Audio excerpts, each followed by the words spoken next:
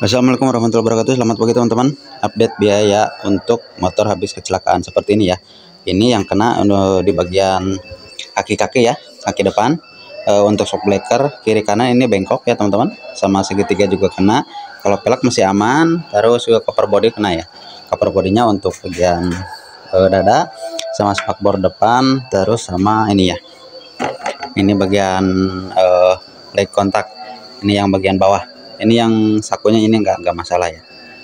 Karena ini sama ini terpisah ya teman-teman. Untuk bit ESP tahun 2015 2016 atau juga untuk bit uh, ESP eh bit starter kasar juga sama ya. Untuk uh, bodinya sama untuk bagian depan ya teman-teman. Nah jadi untuk uh, nanti saya akan buka semua di semua dan menghabiskan biaya berapa. Nanti cek saja di akhir video ya teman-teman sudah selesai pengepresan? Lurus lagi ya?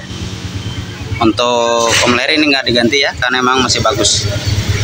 Biasanya kalau udah e, rusak ini di biasanya bergelombang ya.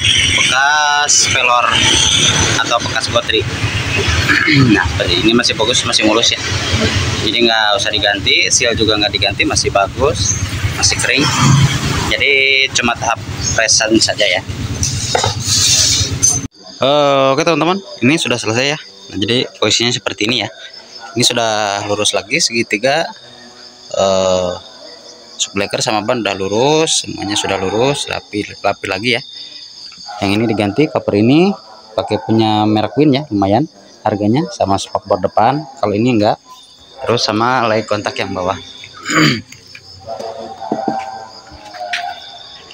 Nah, jadi eh, untuk perkiraan biaya ini sekitar 500 ribuan ya, teman-teman. 500 ribu, eh, tapi kom leher nggak diganti ya. Kalau diganti mungkin jadi bertambah sekitar 600-an. Sekitar segituan. Eh, jadi untuk pres segitiga eh, sekitar 75 sampai 85 ribu, segitiga sama eh, shock breaker ya, sama halu-halu itu di tempat saya segituan ya. Nah, untuk cover-cover body ini 100 lebih ya sama ini ya.